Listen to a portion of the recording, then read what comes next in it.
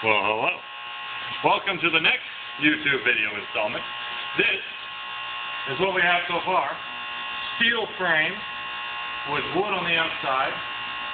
Looks beautiful, doesn't it? We're going to stain it. No, not really.